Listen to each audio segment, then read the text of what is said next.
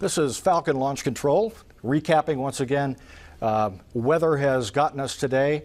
We had uh, a pretty decent forecast that expected uh, the weather to clear in time for today's pr- proposed liftoff time of 5:55 p.m. However, things did not set up the way that uh, they were projected. Storms formed closer to the launch pad and uh, refused to dissipate and diminish. And um, with about 25 minutes left in the count, Launch Weather Officer briefed Launch Director Mike Taylor that uh, a lightning hit in the central uh, Merritt Island area within the 10 nautical mile cone from the uh, launch pad uh, was going to violate our lightning criteria. It would take 30 minutes for that to clear.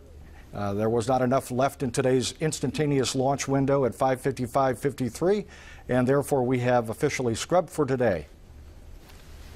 NASA television coverage will begin Saturday, June 3rd at 4:30 p.m. Eastern Daylight Time for the next launch attempt of the SpaceX CRS-11 mission.